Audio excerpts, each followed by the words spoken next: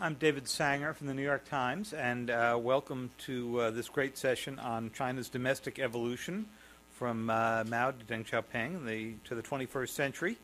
Um, it's going to be a terrific panel. Uh, David Lampton is the Dean of the Faculty and Professor of China Studies at uh, uh, Johns Hopkins. We'll give you more about each of our panelists, but you can see who they are. Ken Lieberthal, who, of course, is the director uh, of the Thornton Center at the Brookings Institution, has been in and out of governments at various moments, has had to dodge questions from me at, at, at good moments, but uh, answered more than he dodged, which is always my sign of a fabulous government official.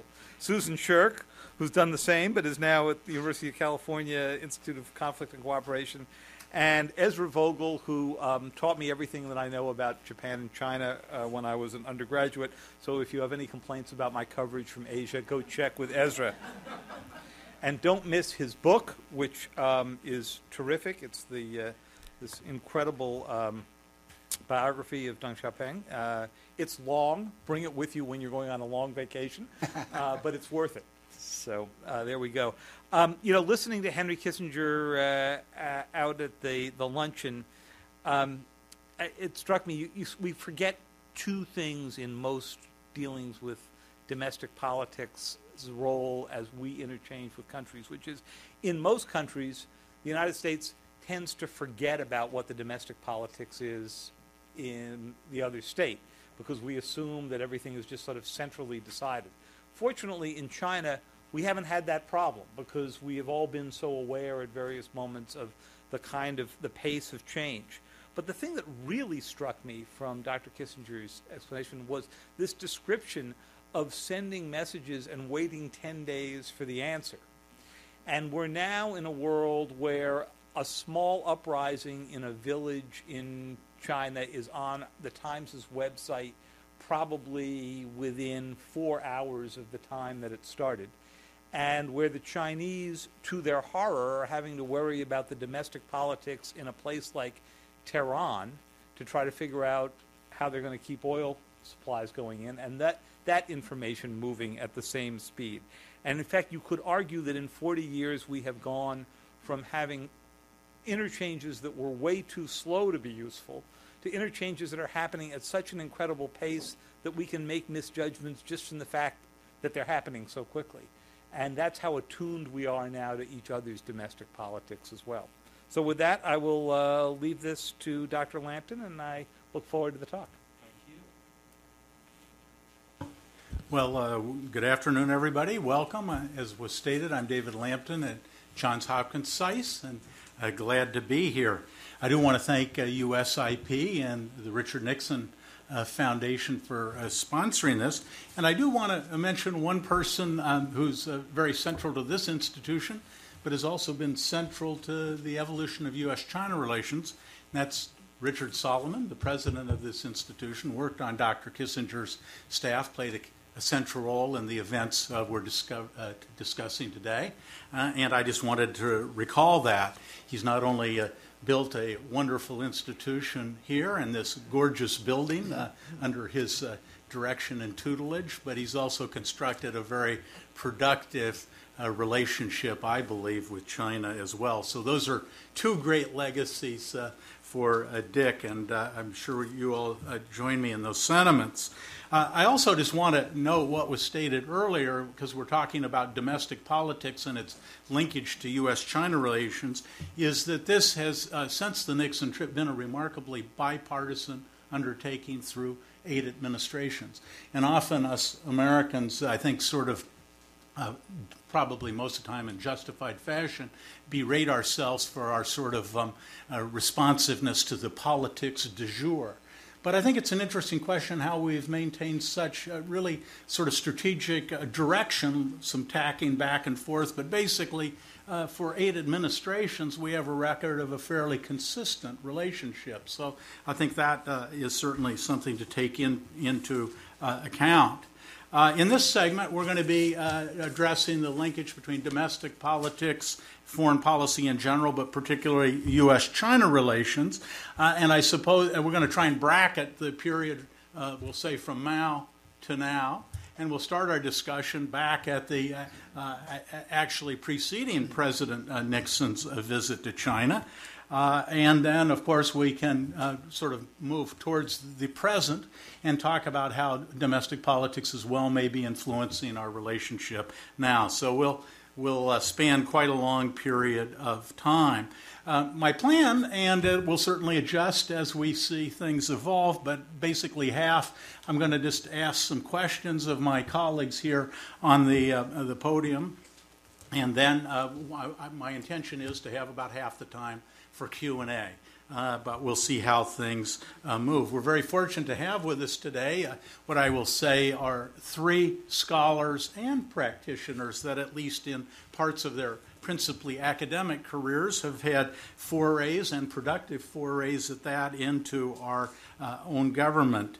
Uh, Susan Shirk in the center is Lam Chair of China Studies at the University of California, San Diego and is uh, director of their system wide Institute of Global Conflict and Cooperation. She was, as uh, David mentioned, Assistant Secretary of State. She had responsibility for China, Taiwan, Hong Kong, and Mongolia in part of the uh, second Clinton administration. Among her many books and works, uh, uh, the most recent and well uh, reviewed was certainly China Fragile Superpower. And I'll have a little question about that for Susan as the uh, afternoon goes on. To my immediate left, my, my old friend Ken Lieberthal uh, is director of the John Thornton Center, uh, China Center at Brookings, and Ken was a professor at the University of Michigan from 83 to 2009. He's uh, authored many books, 18 at least, and much else, mostly dealing with China. He served as special assistant to the president for national security affairs and senior director for Asia on the National Security Council. Certainly, many books are well known, but uh, at least I use in my classes quite frequently governing China. Uh, and to the my far left, uh, not necessarily politically, but uh, situationally, uh, is Ezra, Ezra Vogel, is Henry Ford uh, II Professor Emeritus at Harvard. He succeeded John King Fairbank as the second director of the East Asian Research Center at Harvard. In the mid 90s, he was National Intelligence Officer for East Asia.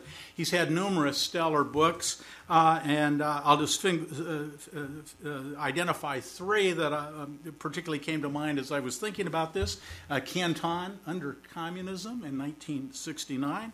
Japan as number one in 1979, and then, of course, the book that's been mentioned, and I'll uh, ask Ezra about uh, several questions about that. Deng Xiaoping and the Transformation of China came out uh, with Harvard University Press in 2011. Uh, now, what I'd like to do is just sort of uh, start chronologically when uh, people sort of had their first major encounter with China and ask Susan. I believe, Susan, you arrived in China shortly after Henry Kissinger and his secret trip, uh, and uh, therefore was the first to, to, go to the PRC here on this, this uh, panel. Uh, during the trip, you met with Zhou Enlai. Incidentally, I'm doing a book on that's based on interviews, and I dug up a, a, a transcript of Susan and a group she was with meeting in July of 1971 uh, that included Zhou Enlai. Also, interestingly, at that meeting, there were two members of the Gang of Four, at least that the record recounts uh, uh, Yao Wenyuan and Zhang Chunqiao. Uh, and Zhou, is, uh, I think, sort of uh, had a very interesting statement, picked out Susan in the, in the group, and said, if Susan Shirk was president of the United States, then matters referring to normalization would be easy to solve. Uh, uh, but in any case, beyond that, I wanted to ask Susan. That was a very a unique moment in uh, U.S. China relations. Uh, can you sort of describe for us, Susan, the, the social and political uh, baseline that that moment in Chinese history uh, represented? Uh, and I've always wondered how you interpreted Premier Zhou's behavior in those meetings with Gang of Four members present, and what was the sort of political atmosphere both on the wide angle in China and in that room. Well, I'm having a wonderful time this year celebrating the 40th anniversary because there are a number of uh, occasions like this one.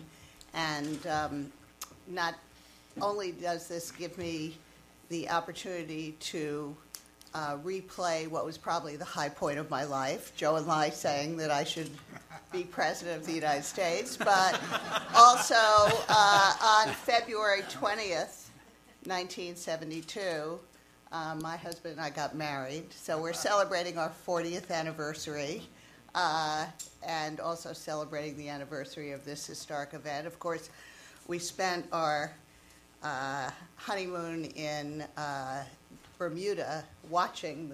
I was just glued to the television set. I couldn't leave because I was so excited about what was happening.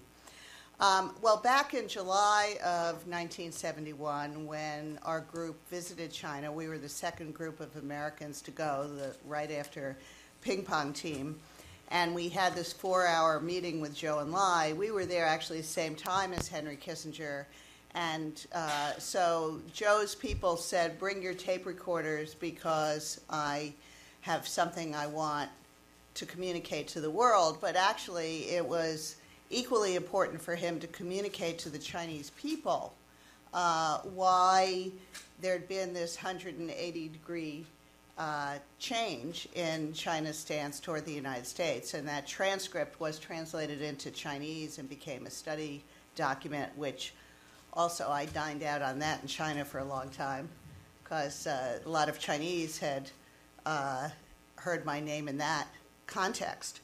Um, the interactions between Zhou Enlai and Yao Wenyuan and Zhang Chunqiao were very, very interesting.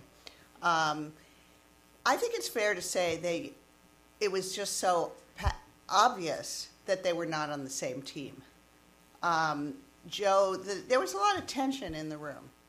And uh, and Enlai, of course, was very suave, humorous, you know, all the qualities that people have noted um, certainly came through very clearly to us.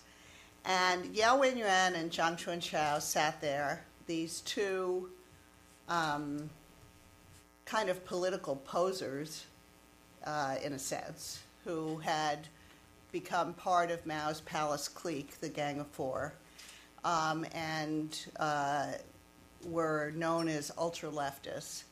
And they sat there not saying very much and looking kind of contemptuous. And Zhou, they were clearly there to watch Zhou Enlai.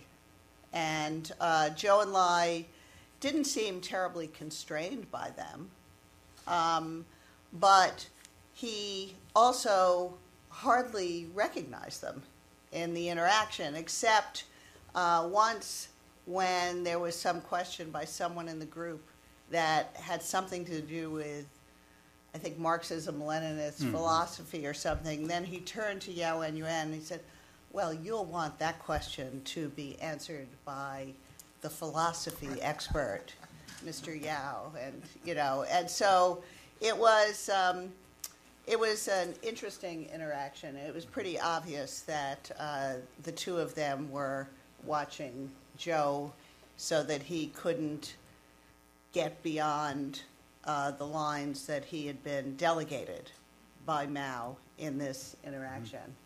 Um, I mean, I have a lot of other thoughts about the kind of China that we saw in 1971. May I Sure. just mention a couple? I mean, I'll just very briefly mention three areas in which China of 1971 that I saw and the China of today are almost like two different countries or two different planets. And so, um, before I mention them, I want to say that I think that's why I'm such a skeptical of Chinese cultural explanations, which is, you know, China is China is China, Chinese culture, this great unchanging thing. But what I've seen is Chinese social and political economic behavior change so dramatically when you change the structure of the system, the structure of incentives that people lived within. So I see Chinese culture as sort of infinitely malleable because of that.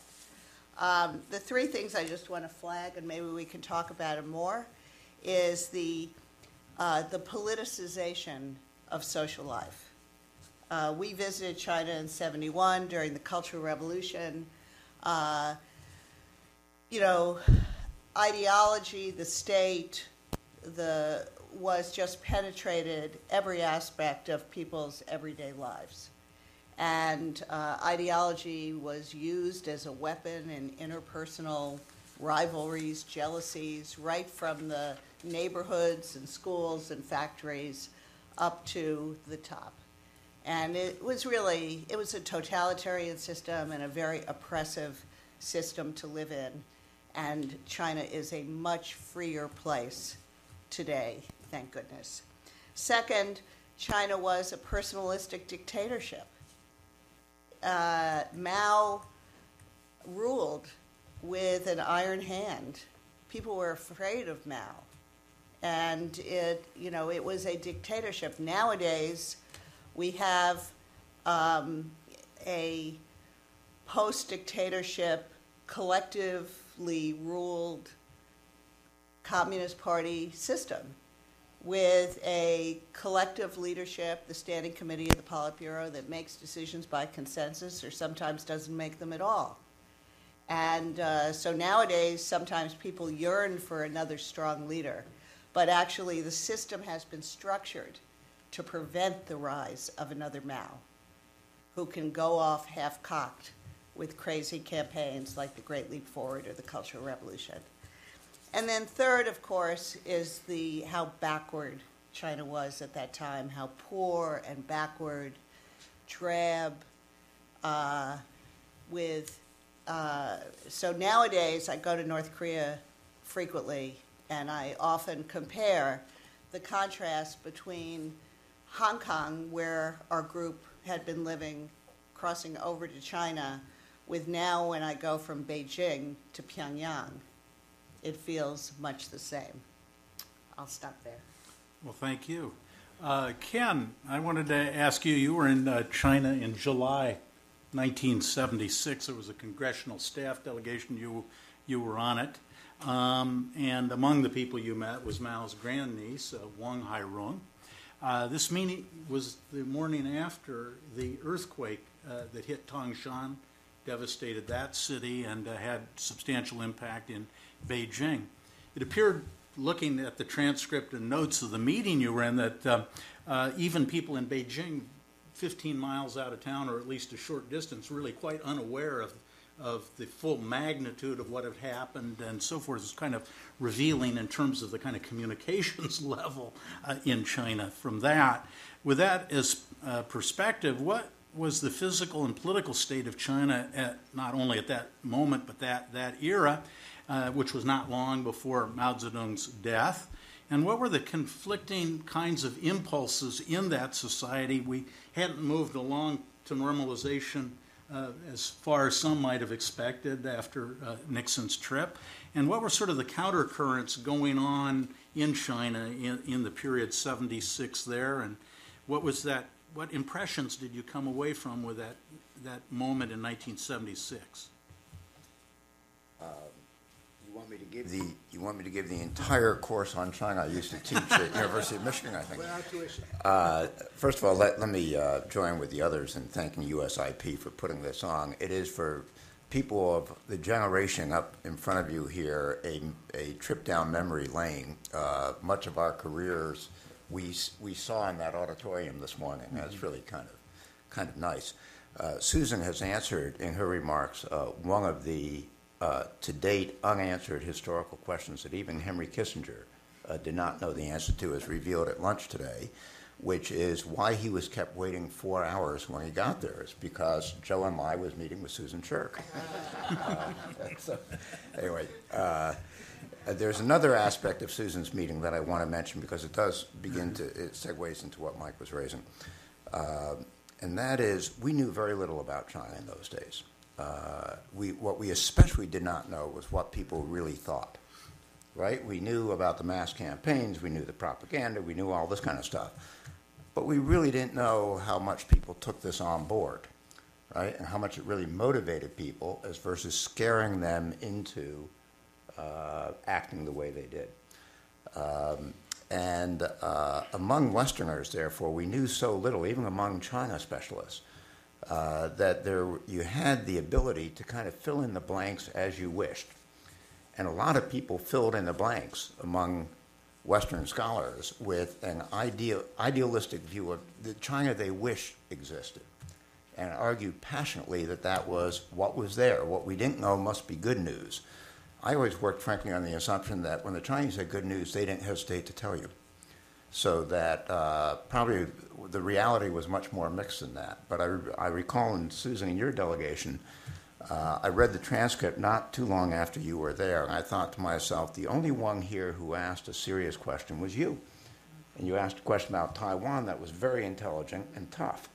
Uh, the, uh, and the rest were asking about basically, uh, and what are the different ways you can describe nirvana to us? Uh, and it was, you know, it was kind of, I think uh, and Enlai was sitting there struggling, trying to say something serious given the questions that were asked. You know, so anyway, just kind of recollections. Uh, as, as Mike mentioned, I, I uh, uh, got there the first night I was there, actually 2:40 the following morning, the Tangshan earthquake hit. That earthquake was severe enough that it, frankly, I, I knew it had hit because I found myself on the floor uh, next to my bed uh, in my hotel room.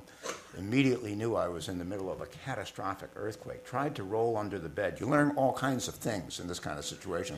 First thing I learned was you can't roll under a bed in the Peking Hotel, and the kind of beds they had there. Then they had kind of boards underneath, and you couldn't get under it. Uh, the, uh, we learned about the real magnitude of what occurred because Don Kaiser from the U.S. Embassy had a shortwave radio. Uh, and he managed to pick up reports on it from the United States.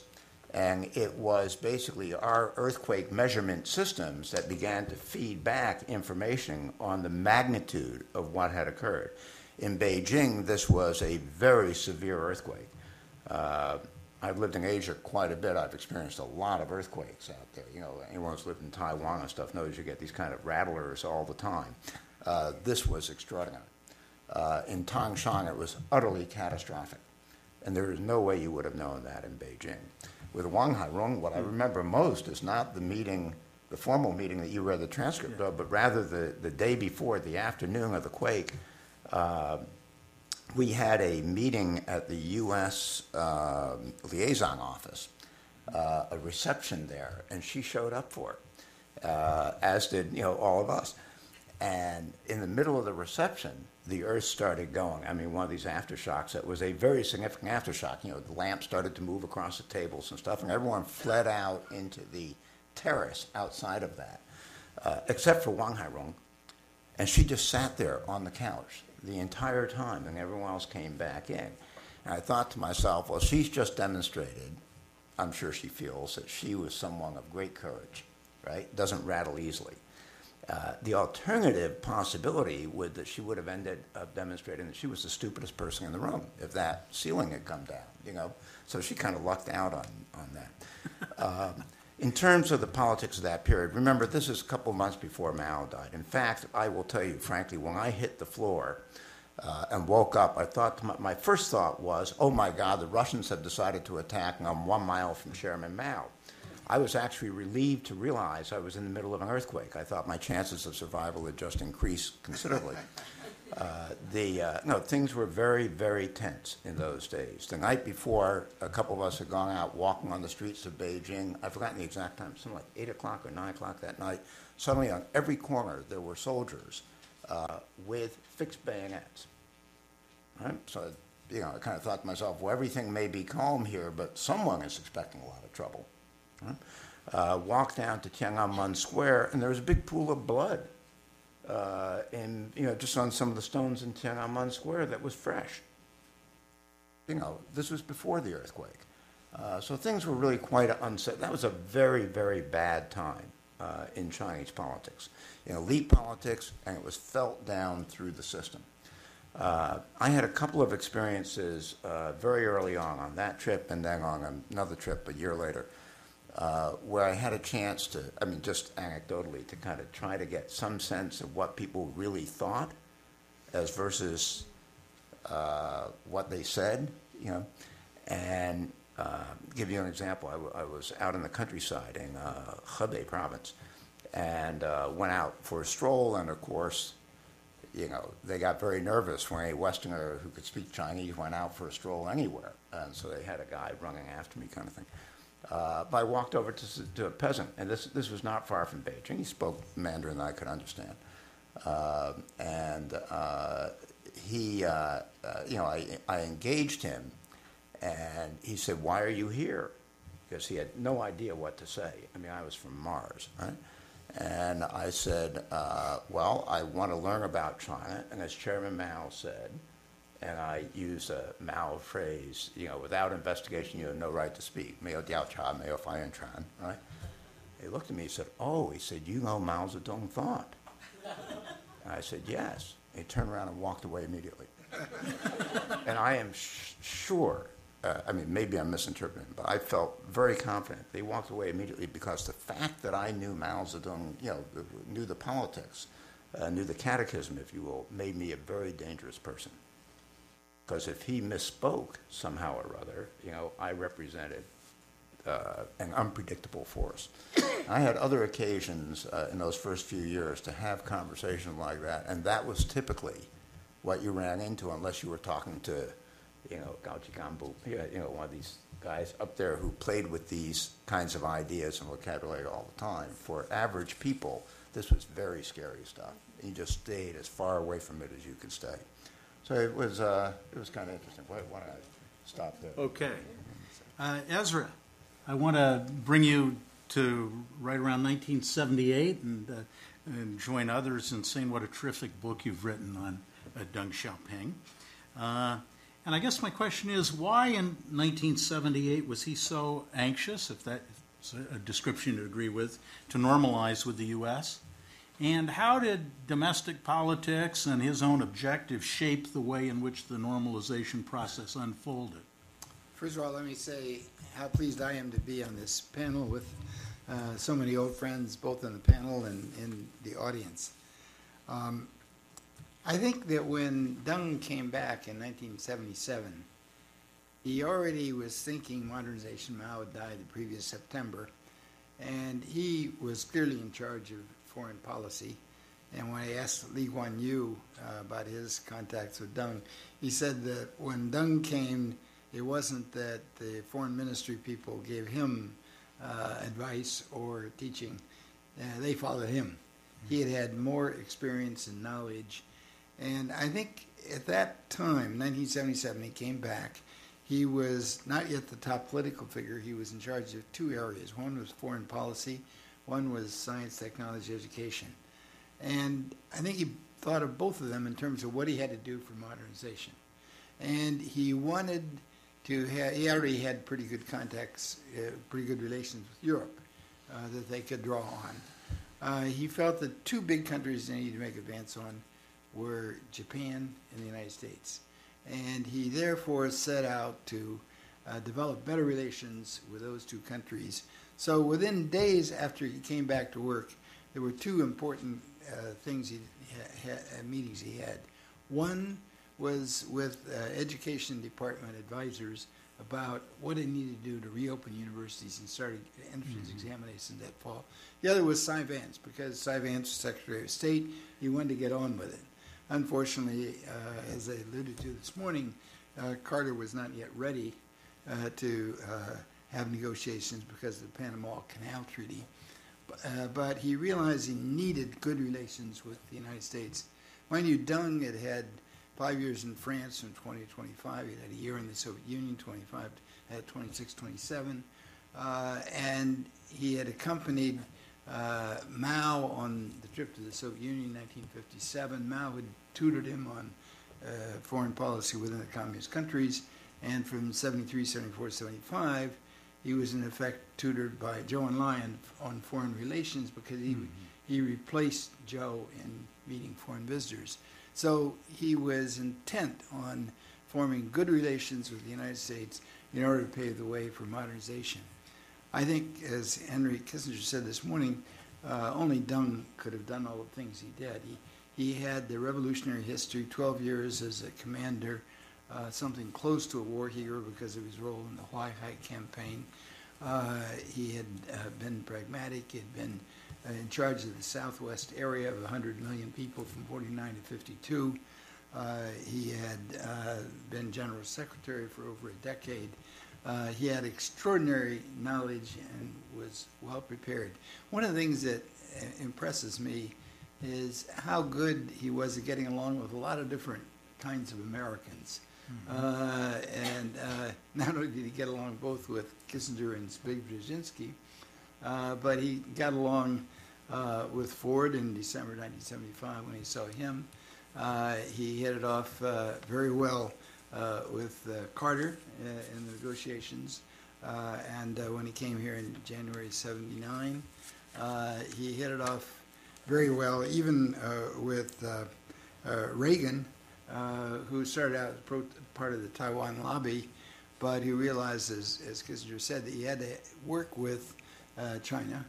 And the key, I think, to better relations with Reagan was his relation with, with George Bush Sr., which I think maybe deserves even more attention than we give to it, because uh, in 1975, when the United States had the liaison office in Beijing, the head of that office was George Bush Sr., and that was the year Deng was really in charge of running things in Beijing, just at the time uh, that George Bush Sr. was there. So they hit it off and melded. So that when the 1989 uh, event hit, uh, George, George Bush Sr. was president, I think the personal relation to George Bush Sr. played a very key role in getting over that. Uh, he also uh, hit it off when he in January 79 with Tip O'Neill uh, in the Congress. Um, and he later uh, got along uh, with Nixon uh, when, he, when he met Nixon uh, first at the White House in January 79, then later when Nixon came to China. So here's a guy who had extraordinary ability uh, to work with wide variety of Americans. And I think uh, not only did he see uh, the strategic importance of working in the United States for China's modernization, uh, its, its access to science and technology around the world, uh, but that you had, uh, Deng- was, I think, brilliant in his managing the transition uh, to a, a more open economy. Um, there are a lot of other Chinese who want to open up, but managing that transition is an extraordinarily difficult project process. And I think uh, his management of the Communist Party, but also the changing it within the Communist Party to manage that transition and the handling of the conservative opposition without leading it to disruptions that really divided the country. I think really was an extraordinary man, and uh, China was lucky, uh, and I think uh, we were lucky to have Deng. In 1989, after Tiananmen, uh, he said, uh, "Yeah, we should be patient. The foreigners don't have a very long view of history. Uh, before long, the businessmen will be going to their governments and say, we need access to the market, we need to improve relations uh, with uh, China. And he said, you know, despite all those sanctions, uh, we should not close our doors, we should open our doors wider. And I think that determination and sort of the, the toughness and commitment and clarity of the vision, I think the United States and China are both lucky that he was in charge. Maybe just let me follow up. You, you said toughness. And uh, of course, uh, on many dimensions, that's obvious enough. But I was uh, just reading through materials from that period and was struck by accounts of the meeting with Frank Press in mid 1978, where it was decided to bring in essentially exchange of students even before normalization. And then he met with Robert McNamara, I believe, in 1980 to talk about the World Bank coming back to China. Uh, and what struck me is this tough, nationalistic, proud Chinese actually minced no words on how badly China needed assistance, whether it was intellectual. And I just always been interested how you interpret that that kind of personality and what it took to ask for that kind of fundamental help. Well, I have two main interpretations how he got that pragmatic. Uh, one is that when he was under Mao, Mao was the big philosopher behind the scenes, and he was essentially the executive who had to administer things. And in a sense, the buck stopped there. I mean, as, as general secretary of the party, that was what he had to do. Second, you know, he was a wartime military uh, political officer for 12 years, they were under constant battles. And he didn't have time to go into philosophy and all that mm-hmm. kind of. He had to get ready for the next battle. Mm-hmm. And after every battle, he would try to regroup the troops and say, and he didn't want to have a single leader because something might happen to the single. He wanted a team of mm-hmm. leaders who could work together. If something happens to one, and somebody else is ready to fill in. So I think that pragmatic experience of trying to manage all those battles, and plus uh, the experience as general secretary on the front line, whose job it is to make things work, just put him in a very different situation than Mao was in. Uh, Susan, I wanted to turn attention to your book, but you can steer this uh, in directions you uh, would like. Uh, Fragile Superpower, and, and uh, one of the um, chapters, and certainly a theme, as you say, China is strong abroad, but fragile at home. And I, I have a kind of two-part question: is what are what do you think are the key domestic weaknesses China has in the current era, and how's that shaping its policy? Uh, and I guess I have a more fundamental question, and it, that is, if you're weak at home, can you in fact be strong abroad for a sustained period? And what are your implication? What are the implications of that domestic weakest, weakness for this um, this uh, sort of uh, juggernaut that some people seem to see on the horizon? Well, I think it's important to see China with clear eyes, and I think the, the reason that China is uh, seen as such a superpower already is because of its dramatic uh, economic growth, which is historically unprecedented to have per capita income growing, you know, at over 6% for 30 years. It's never happened before in human history, and um, you know, and it's been so rapid. So of course there is this perception. Most people don't really look inside of China; they just kind of see the image of the um, rapidly growing uh, economy, an economy that recovered first from the global financial crisis when we caused the financial crisis, you might say um, and are still struggling with it, and the Europeans are too. So I think there's a lot of um, misperceptions out there that China is already uh, such a powerful country. I mean, the story I tell frequently, I'm sure some in the room have already heard it once. I apologize, but when I was writing this book, I uh, wanted to give a heads up to my Chinese friends about the title because I didn't want them to be blindsided by what is a somewhat critical view of China. And uh, I also told my American friends about the title. So when I told my American friends I'm writing a book about Chinese domestic politics and foreign policy called China Fragile Superpower, they were very puzzled and said, Well, what do you mean fragile? But when I told my Chinese friends, every single one of them said, What do you mean superpower? And so, what I find revealing about that is that they don't see China as all that strong yet, but also no one questioned the internal fragility of China. So, why is China fragile and why are its leaders so insecure? Is because, you know, they're trying to maintain Chinese Communist Party rule over a very vibrant, open, large market economy. It's not the same society or the same economy as Mao's China. And yet, the Communist Party is struggling to stay in power and they feel very vulnerable. They see sort of latent political threats everywhere. So um, I think there are some.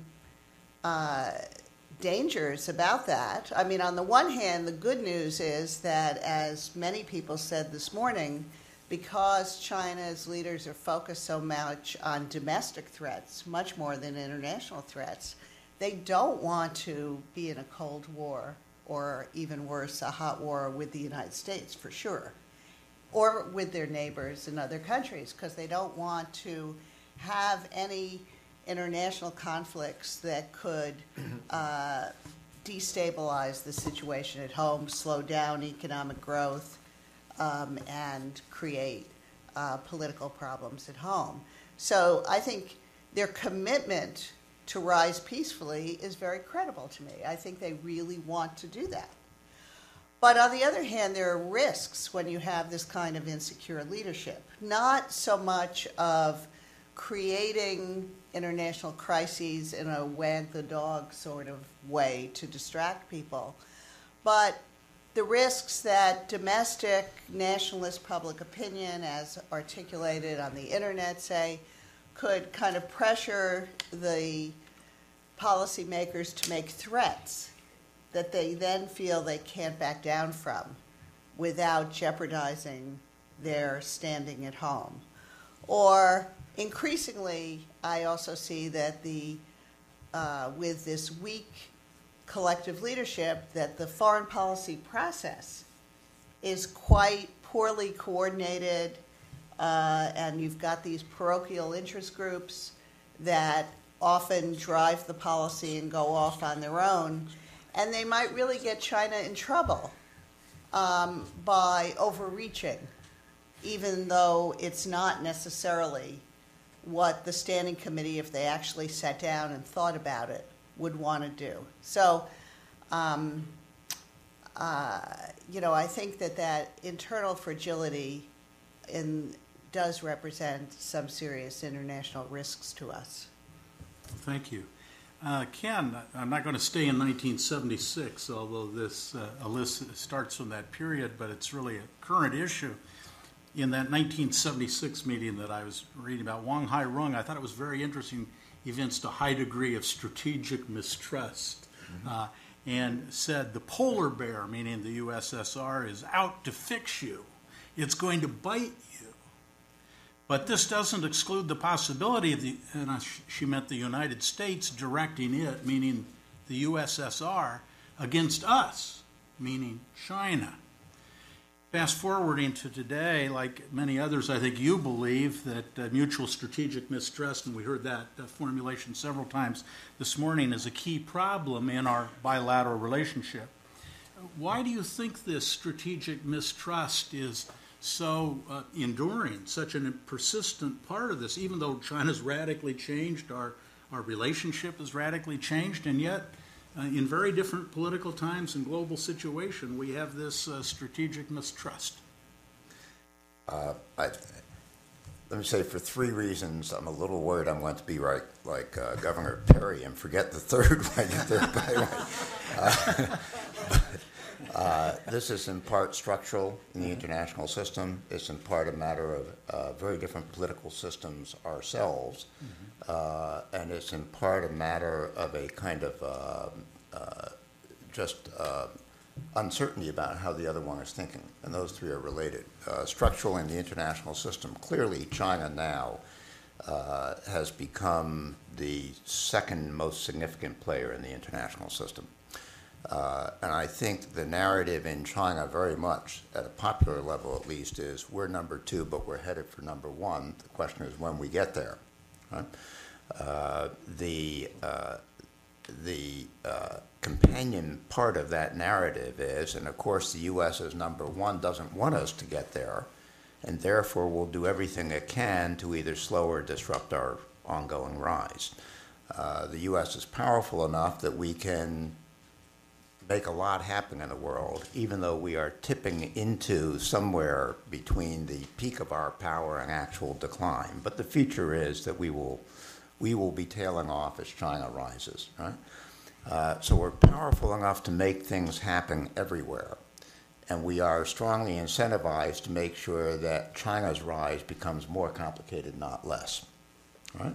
And there's this kind of notion of a U.S. that is uh, strategic, disciplined, uh, uh, well coordinated internally, uh, and determined to disrupt China's rise. I would argue that every single one of those points is dead wrong, right? But one thing you cannot do very easily is to disprove a conspiracy theory. Because even when you point out to people that uh, you know, we've done this, that, and the other thing that have all, it's hard to imagine we would have done that. uh, if we were trying to slow down China's rise, the answer is basically, aren't you clever in how you conceal the fact that you're trying to disrupt China's rise? I mean, so it's all, you know, this kind of narrative. Um, so I think the structural change in the balance of power in, in the global system has helped to foster a narrative that I think draws off of a lot of modern Chinese history, uh, where they had good reason to distrust the motives of especially Western countries out there, but also Japan, obviously, uh, to have a very tough view of the international system. And now, given the way things are, we're the guys that must be after them. Right? On our side, that also feeds in in a fashion, uh, because when we see China, and frankly, especially when s- you know you look at what China says publicly, and you also have access to some other discourse in China, especially when that non-public discourse comes across in more zero-sum terms than the, than the public discourse does, and you have to sit there and think to yourself, well, if they're thinking in terms that their advance has to come at direct cost to us, maybe we ought to be a little right. tougher about that, right? And so you get this kind of back and forth. So I think the structural change in the balance of power is a real problem. Second problem is different political systems. Uh, I think it is simply a reality that Americans feel, for analytical as well as emotional reasons, uh, that uh, authoritarian political systems are not as trustworthy uh, as our democratic political systems. Uh, they are not as transparent. Uh, they are subject potentially to stronger uh, initiatives in the international arena as well as domestically because there aren't the checks and balances that you associate with more uh, democratic systems. And there is an emotional component to that too. We have, as a country, as Henry Kissinger has written so eloquently about, we've always had this kind of uneasy balance in our foreign policy between America as the proselytizer, you know, our role in the world is to spread democracy versus America acting as in terms of realpolitik. During the Cold War, policy toward the Soviet Union, the two of those lined up completely. You could do anything on the values end because the need to overcome the evil empire was so morally correct that realpolitik and values lined up. But with the collapse of the Soviet Union, all of that disappeared, and not surprisingly, very quickly, all of this reemerged. And China, whatever else it is, is not a democratic, liberal democratic system. Uh, so I think that that's a problem, and it contributes uh, to our uh, distrust. And now I'm going to have a Rick Perry moment. Uh, the third thing How was- people are thinking was your third. or- yeah, that was your code word. For Well, well, uh, well, I think the underlying reality is that on both sides, we, uh, we have not been able to get to the point where we have uh, deep, uh, very forward-looking uh, discussions about the future. Uh, we have more than 60 formal government-to-government dialogues annually. Uh, we have frequent contacts between our highest levels on both sides. Uh, but those discussions are, are about the near term, some long term aspirations, constructive strategic partnership, this kind of verbiage, right? But the substance is about the near term. Uh, and so we have never had, to my knowledge, for example, Susan, you're deeply involved in issues with North Korea. Uh, I don't think at a government to government level we've actually sat down and been able to have a serious discussion about different potential contingencies in North Korea how, and how each of us would respond to that. Right? Uh, We've we, tried. w- yeah, we tried, but we haven't succeeded. We uh, have talked a lot in various kinds of military to military talks uh, about different aspects of our military relationship. We cannot, to this point, sit down and talk about our overall military postures in Asia, our respective military postures. Uh, and as Stape Roy pointed out this morning, it is simply uh, not the case that the U.S. military in the Western Pacific is going to have the degrees of freedom that we have enjoyed for many decades now. Right? It's just not the case. It is also not the case, by the way, that the Chinese PLA Navy is going to have real control over the seas out to the first island chain because we're too strong to let them do that. Uh, but each of us works on a kind of fiction that we can achieve those incompatible objectives, frankly, unrealizable objectives, if we only invest properly and you know play it smart. We need to have a discussion as to how China can protect its vital interests, which it is rightly, absolutely determined to do, and how we at the same time can have a level of capability in the Western Pacific that meets our obligations to friends and allies and serves our own major nation, national interests. We aren't able to have that conversation with China. Right? You can go on to a number of other issues in cybersecurity and space and elsewhere where the same thing is the case. And so we need to get to a point where we can have the kinds of deep, prolonged discussions about the real topics that will shape the future uh, if we're going to overcome mutual strategic distrust. Let me say, by the way, I, I interpret the term strategic distrust not as strictly military strategic, right. but rather as distrust about each other's long term intentions toward the other. Right? And despite our mature, candid, very pragmatic relationship where we really do know how to manage uh, issues day to day very effectively on both sides. Uh, I would argue that strategic distrust is growing. Uh, and that is sufficiently corrosive that it has to make you, uh, at best, very cautiously optimistic about the future. Thank you. Uh, Ezra. Uh, can, can, I just add one word to that, which is uh, there's a Chinese scholar who I know many of you know, Wang Jisi, uh, who is arguably China's top America specialist. he and I will have a, a monograph coming out in about two weeks that is on strategic distrust uh, between the U.S. and China, and it's coming out simultaneously in English and Chinese. Uh, and it is to articulate him for the Chinese side, me for the U.S. side. What is the narrative our own leaders have constructed that ex- that that makes them doubt the long-term intentions of the other side, right? And what are the actions that feed that narrative? And then there are some recommendations as to kinds of things that might chip away at that narrative. Um, Ezra, when you were doing your book, you did spend some time with President Carter and at the Carter Library.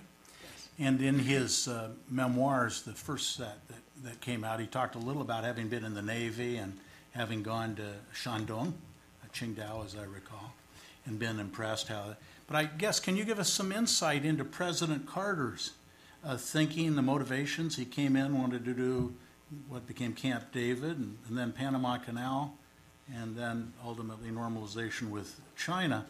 How did he think about prioritizing those issues? Why did he think that way? I, I remember being at Taiwan in Taiwan at that time, and just before I was leaving Taiwan, got called in and said, "Will President Carter normalize relations with China?"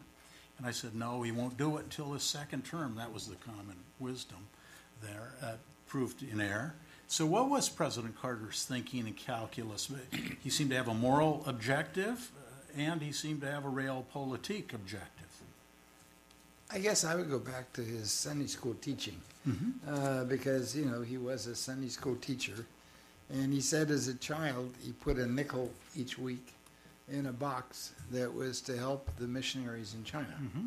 And uh, one of the conversations he had with Deng at, at the White House uh, in '79 when he visited was, uh, uh, I think you should have allow freedom of religion in China. And Deng said, we don't need your missionaries. Uh, but uh, we we will open up, you know, and, and, encourage, and we will allow the Bible to be translated. Mm-hmm. So I, th- I think Carter, from way back, had a deep desire that this is the other side of the world. We ought to be working with these people Mm-hmm. And I think that he relished the thought that he could play a major role in completing that. And um, however, uh, uh, because of this Panama Canal and Congress, uh, he was really worried they couldn't get congressional support uh, for normalization. And I think there's no question that his appointment of Woodcock in the first place, uh, some that Ken knows well, um, that uh, Woodcock was a negotiator and was a tough negotiator, but a respected one. One who was respected by all sides and could be counted on. And I think he put him in charge of the liaison office in Beijing with the notion they would go ahead, and this is the guy who will ne- uh, uh, negotiate relations with China. In terms of uh, Carter's global strategy, uh, I think he had a lot to learn when he became president. Um, you know, remember in the Korean Peninsula, he was going to pull out all our troops uh, from Korea too quickly, uh, and uh, he didn't have a very clear negotiation. Uh, I think our academic colleague, whom all of us know well, Mike Oksenberg, really played a very critical role in going back and reading through those notes and the notes of that he and Woodcock uh, uh, made as part of the recording after the events to, to try to get set down the history. Uh, it's uh, quite clear uh, that Mike Oksenberg had a vision of how to get it through politically too. I mean, you, you send uh, Senator Kennedy to Beijing because he'll come back and report, you know, some things and help get the issue and how to manage it politically, as well as how to. Uh, he was constantly on the lookout. Uh, of course, there were you know human rivalries between some people in the State Department, uh, and I think that. Carter, in a way, was above those detailed considerations of strategy and so forth. Mm-hmm. I think he really wanted to improve relations with China because it was good, it was the right thing to do, the world needed it. And I think the Carter we see after the presidency that's so concerned, in a way, with social service around the world, you know, mm-hmm. represents that kind of deeper idealism that underlay what he was doing during his term as presidency. Mm-hmm.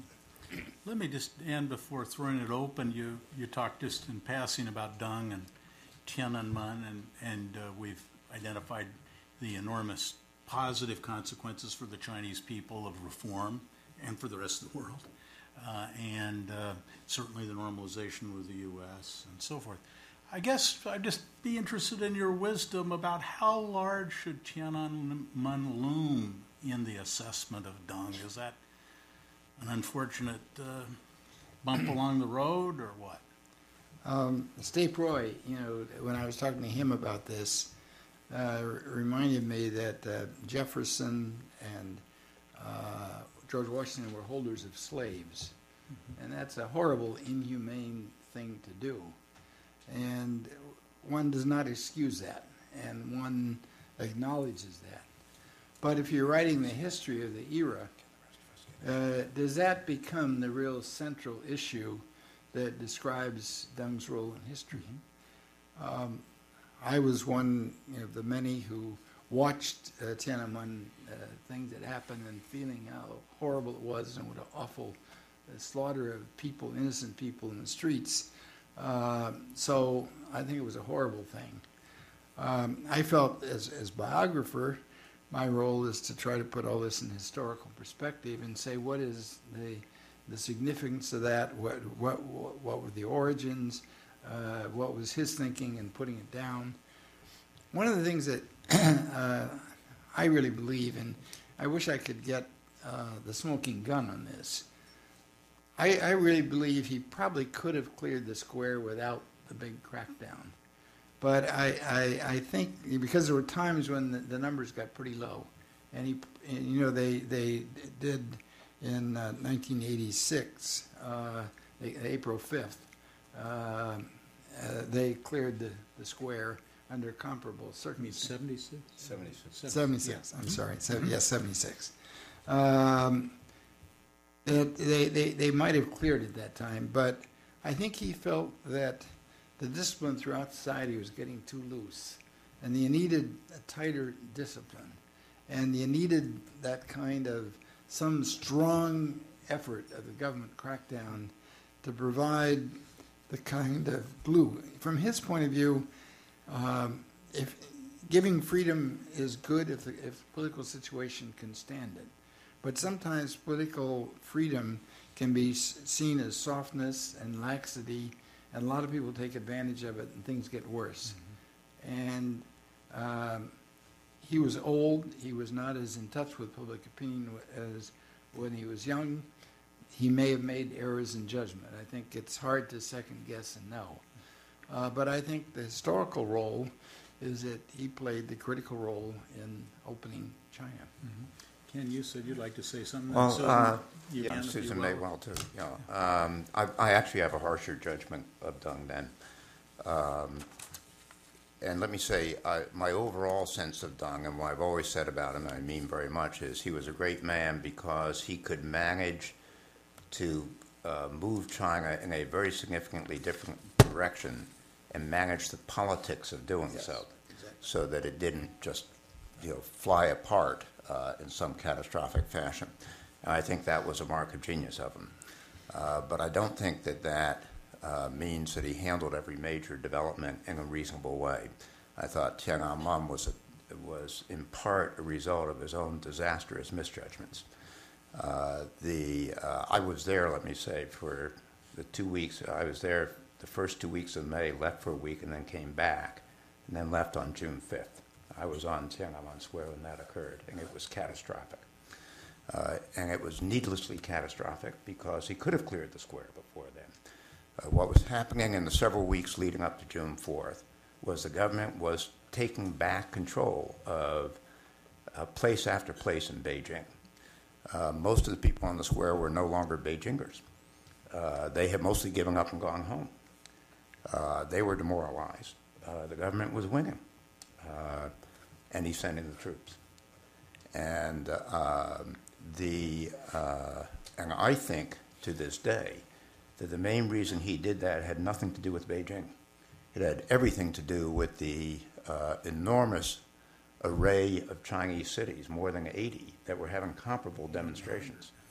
And he felt that to regain control in the country as a whole, he had to act absolutely decisively in Beijing, and that would alleviate him of the need to take back the country city by city, if you will. You know, and so I think that's why he did it. Um, you have to ask yourself, and by the way, it was, you know, after all, it was his reaction to the initial demonstrations that hardened the, the, the views of the demonstrators. So I think he escalated this in a way that reflected his being somewhat out of touch with what was really uh, going on. Uh, the question I've asked myself, and as all historical counterfactuals, there is no answer, right? But there were reform currents in uh, China in the late 70s uh, that would have produced a very different trajectory from what we actually saw. Uh, and those currents had just under half the members of the Standing Committee of the Politburo on board.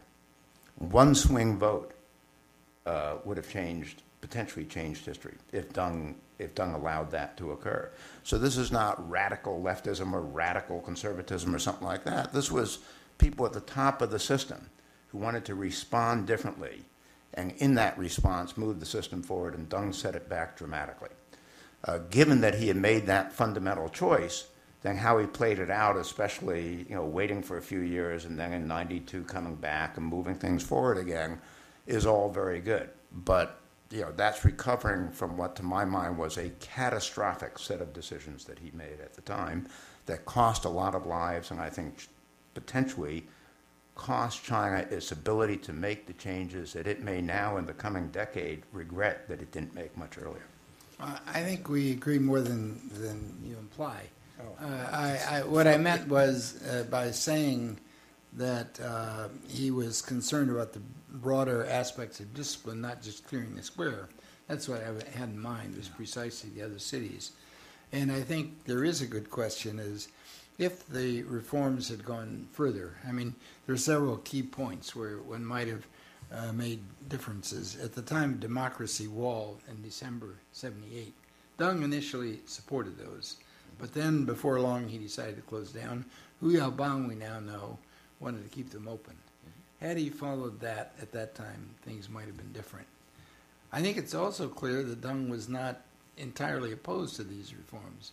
That in 1986, he gave Zhao Ziyang the freedom to have a very major discussion about political reform. So he, he, he was not as completely against all kinds of reforms as some people have said. He was willing to consider that. I think uh, I agree that he made some strategic errors. I think in 1988 he made a very strategic error about uh, prices and decontrolling prices at a time that shouldn't have been. I think that editorial uh, in the April came out in April 26 that uh, used the term uh, turmoil uh, scared the students and made the situation worse. I think those were bad errors of judgment. that are not unrelated to the fact that uh, he was isolated uh, as a very older person uh, from those uh, situations. I, th- I think he felt that, you know, Hu Yaobang, as General Secretary of the Youth League, tried to encourage people and, and give them optimism and hope and support. Deng, as General Secretary of the party, uh, at the same time, Hu Yaobang was Secretary of the Youth League, felt the buck stopped there and that he was operating in a very tense situation and he felt that they had to clamp down and that could have been an error in judgment. Now it's time for you to be able to ask your questions. I'll try to move my selections around the room as I see hands. Yes. Oh, yes. Can you speak up a little? Yes. Um, I'm very interested. I just spent some time there, and the name of this panel was Domestic Evolution from Mao Zedong to the 21st Century. Um, would you mind, There's a narrow topic for you. would you mind speaking um, very briefly on um, what do you believe the legacy of the current Chinese uh, uh, Party Secretary, President Hu Jintao will be? What will be his enduring? What historians write about him? Uh, uh, what do you believe the legacy of the current Chinese uh, party secretary has had? What will be? His? What historians write about him? Well, Susan, you want to take a stab and then everybody else? Well, Hu Jintao and Wen Jiabao came into office um, with the idea of doing what I think of as a kind of populist adjustment to the reform policies. Um, because marketization and opening had led to a tremendous spurt of economic dynamism and growth, and um, uh, in the initial period, everyone had done better, um, including the people in the countryside. But um, uh, income gaps had widened. Uh, the social welfare net had been destroyed by decollectivization and moving away from um, the Maoist system. So health and education, all these social goods, pensions needed to be fixed. So the platform, the agenda at the start of the Hu Wen administration, I think, made a lot of sense because it was not anti-market. It was just to make these adjustments at the margin to make uh, market reform kind of more sustainable and more equitable. But in the process, those things didn't happen. And instead, uh, the elite just got a larger and larger share of the benefits of policy. And, you know, um, both of those two leaders uh, appear to have been um, reluctant to exert much personal authority. They admittedly are in a system that discourages that. It's, you know, collective rule. They're uh, Hu is just first among equals. But, uh, you know, so I don't think history will judge him too positively in terms of the actual accomplishments, although the intentions might have been good. Um, one a- thing that he has tried to make a legacy about is Taiwan.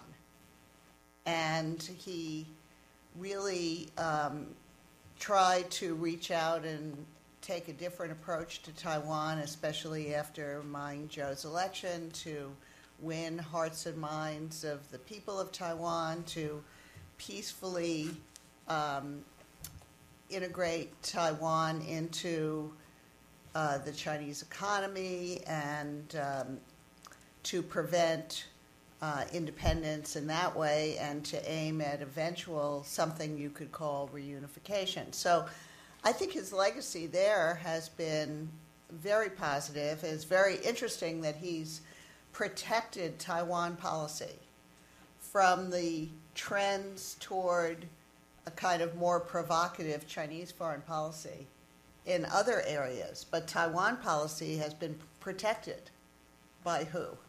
Um, and, you know, that's been quite a good thing, and I think a substantial amount has been achieved in cross-strait relations. So I'd say maybe that's his most positive legacy. I think uh, many people in China, many people outside of China had some hopes to see some gradual introduction of political reform, none of which has really happened. I mean, there are talk about governance. Uh, normatively, they've embraced rule of law, transparency, a lot of ideas that have been accepted normatively and yet, again, have not really been realized on the ground. Um, Before going to the lady in the rear, I just, I thought maybe I'd add to that, I'd put it in a little more system-wide of view. It seems to me that the Chinese system's selecting for what you might call transactional kind of leaders, system maintenance, more and less, not radical transformation, because China's becoming a more complicated society and more differentiated, and even who is the leader becomes a bargain among many competing groups. Uh, and the real question for the future is whether the big changes, and I think China does require some big changes, are they selecting for the kind of leaders that can, in fact, produce big change? And in that sense, I see what's going on as uh, perfectly understandable, perfectly predictable. I would agree the Taiwan uh, area has been a bright spot. Uh, but more fundamentally, is China going to be producing the big think people? Uh, at the top of that system. And I think China can't defer a lot of its big political changes indefinitely.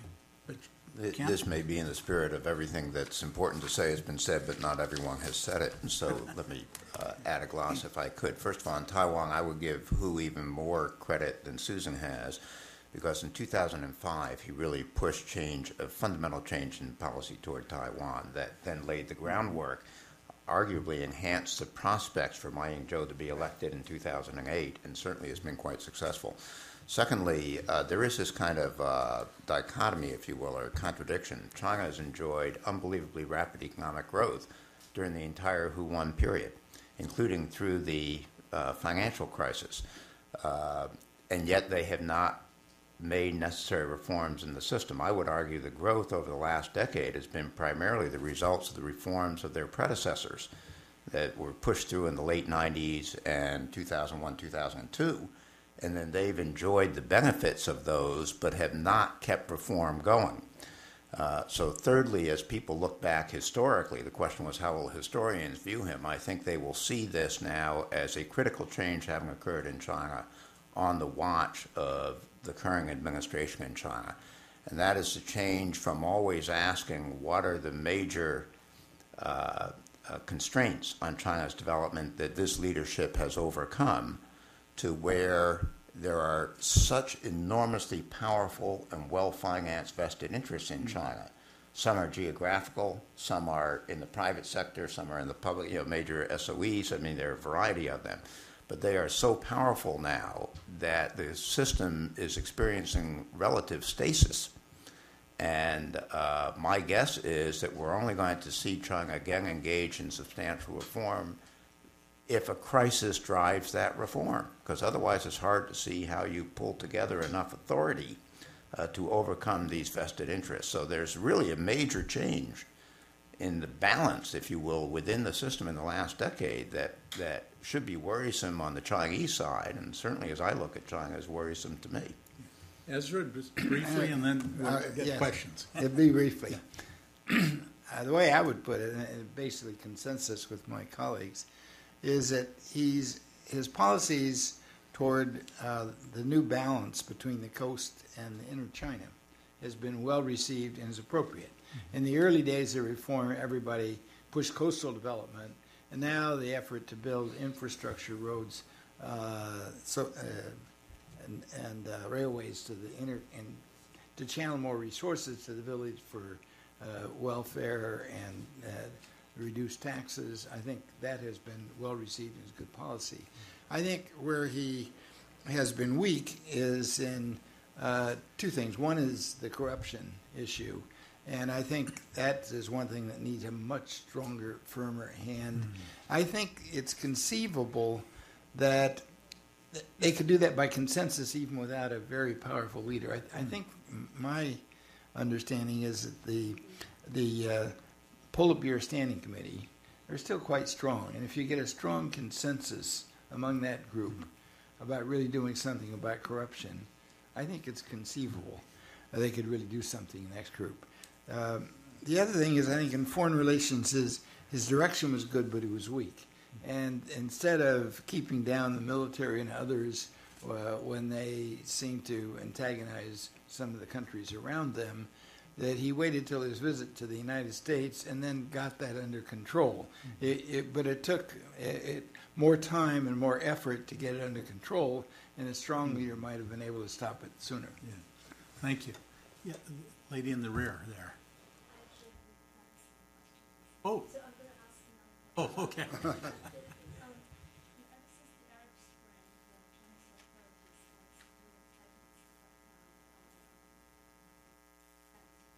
Can you speak up?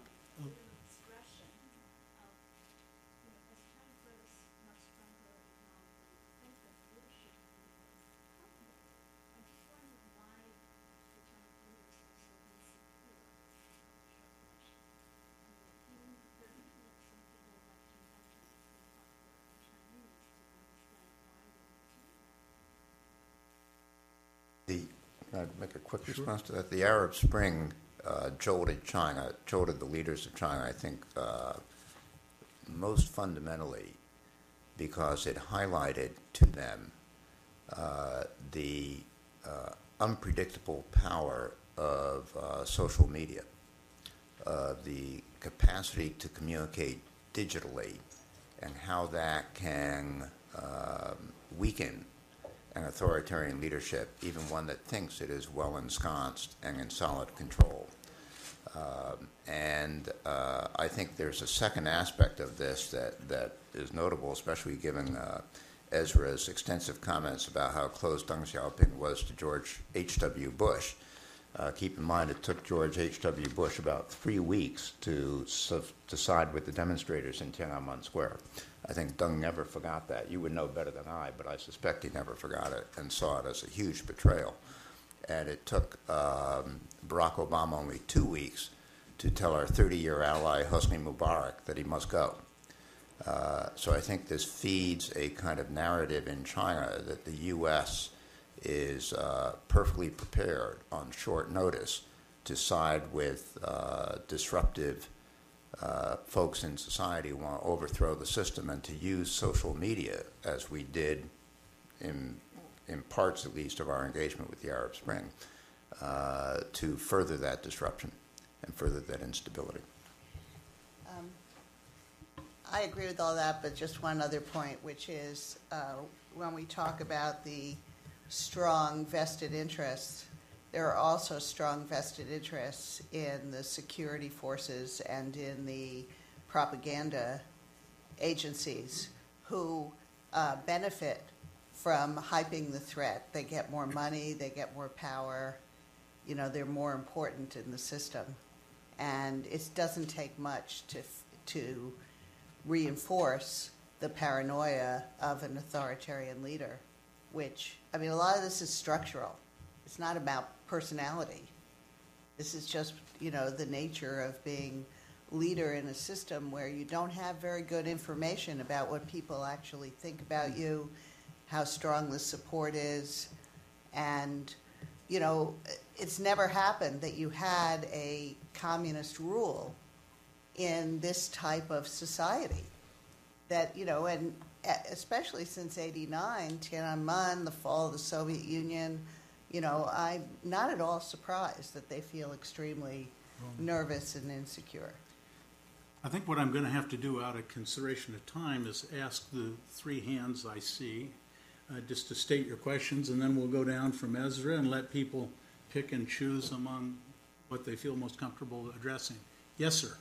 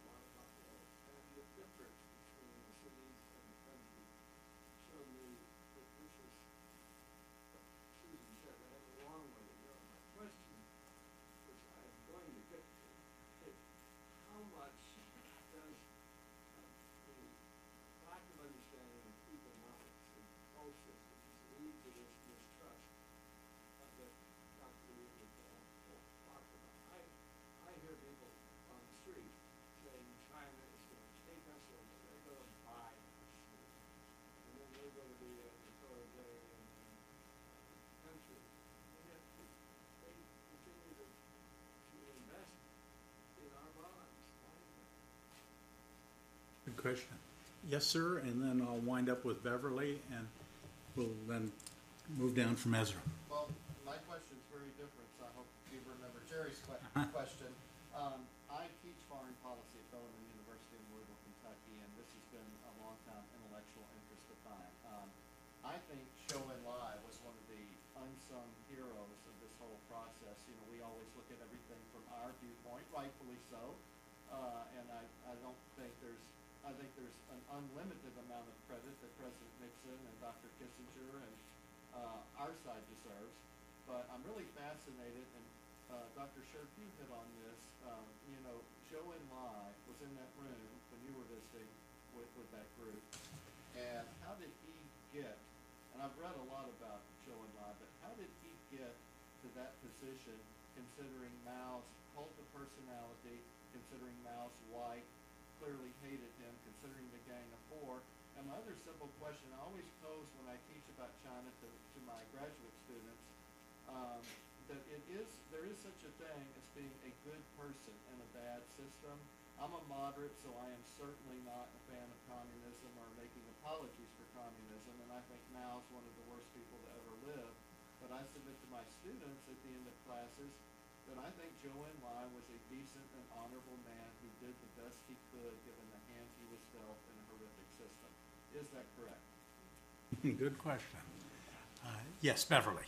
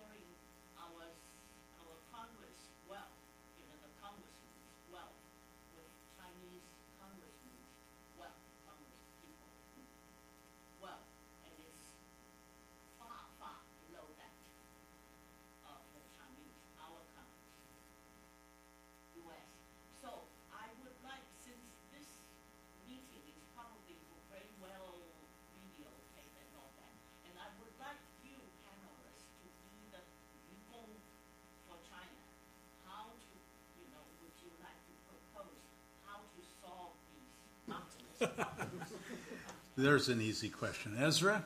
I'll try to be brief.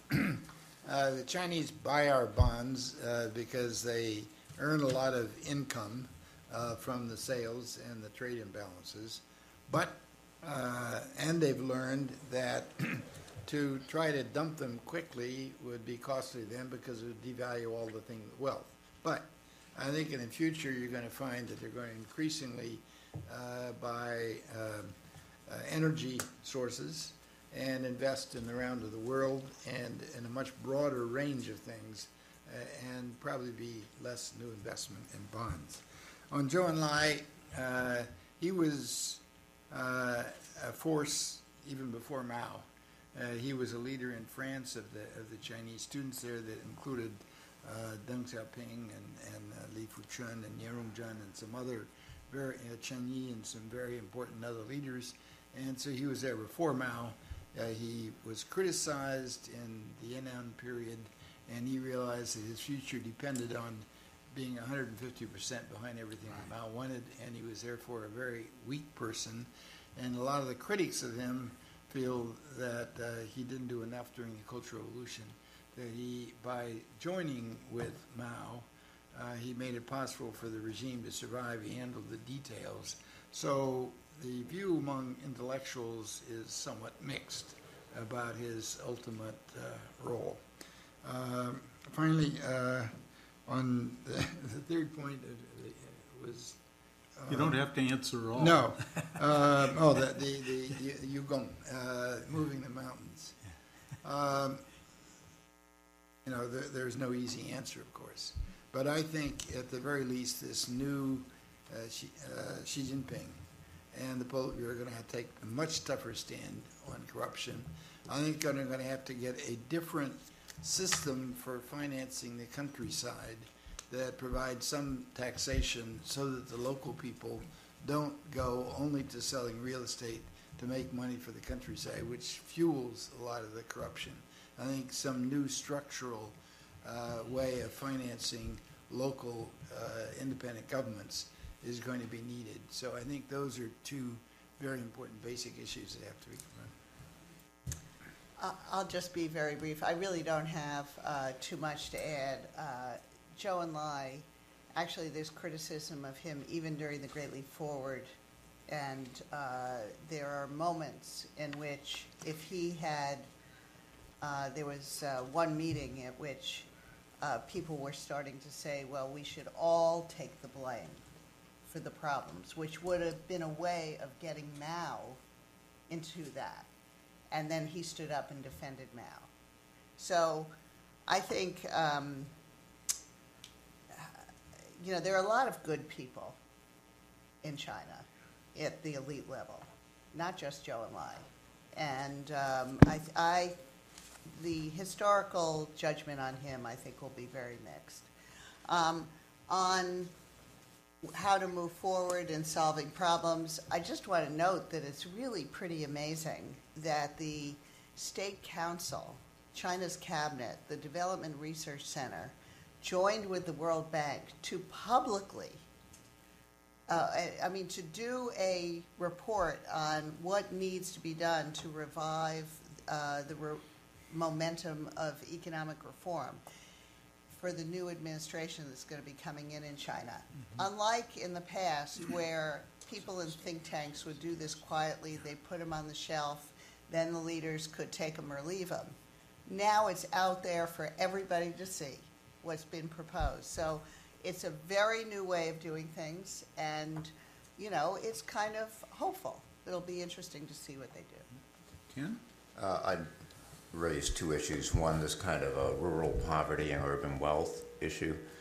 Um, the way I think about it is uh, China is uh, a place that you should think of as a series of islands with a total population of about 450 million people uh, who have a, by global standards, a nearly middle class standard of living, uh, surrounded by a sea of a, close to 900 million people who live in the third world. Uh, and the islands and that sea interact in every way all the time. Can't think of one without the other.